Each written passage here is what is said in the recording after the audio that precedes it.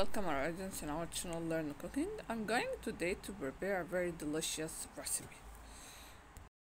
Hello everybody, today I'm going to make yogurt at home. For yogurt, I have milk, the amount that I use to make yogurt, half a liter.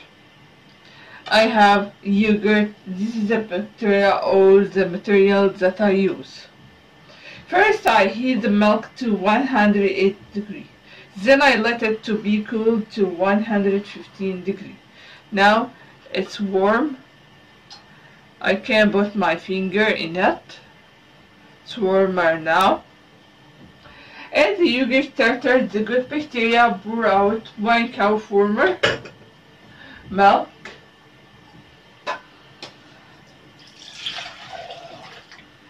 And uh, this I use one spoon of this good bacteria good yogurt starter. Then I mix them together. After I mix them I put them in these cups I preheat the oven.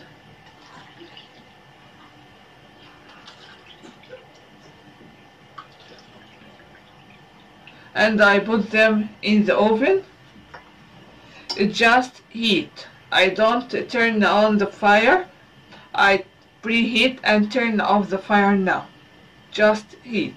Then I put these cups in the fire in the oven after one day I put the yogurt in the fridge and it's become thick now. I hope you try doing this yogurt at home. It's very nice and you can do it. It's easy. I hope you enjoy watching this video and try doing it. Thank you. you try doing this recipe. I hope you enjoy watching this video. If you like the video, please subscribe the channel, activate the bell icon, support me with your opinion. Don't forget to share the video uh, and write your comments to me. Thank you.